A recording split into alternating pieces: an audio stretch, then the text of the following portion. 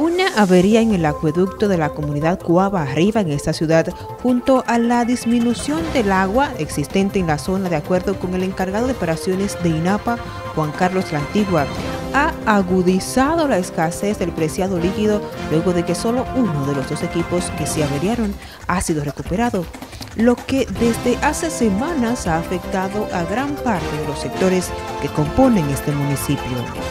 Fíjate, con relación al acueducto de Cuava tenemos dos situaciones. Una, eh, hay una gran disminución en el caudal eh, del agua que estamos recibiendo del río Cuava, ya que está bastante agotado, fruto de esta gran sequía que persiste.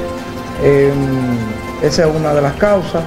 Por otro lado, también tenemos en la misma toma se nos generó una avería en la cual ya estamos trabajando y por lo cual ya nosotros entendemos que ya desde esta tarde a mañana ya comenzaría a normalizarse la situación, eh, haciendo la salvedad que como decíamos anteriormente, eh, normalizaría, pero con el déficit que tenemos, fruto de la situación del poco caudal que tiene el río. De acuerdo con el funcionario, la avería será solucionada en lo inmediato. Citó algunos sectores afectados por esta.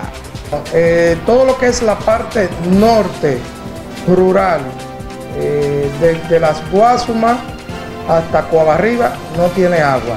También como otros, otros sectores de la parte oeste o noreste de la ciudad, como son los jardines, Cristo Rey, el Espinolador, eh, Madeja y Las Pajas y esos sectores que están ahí en la parte noreste también están siendo afectados.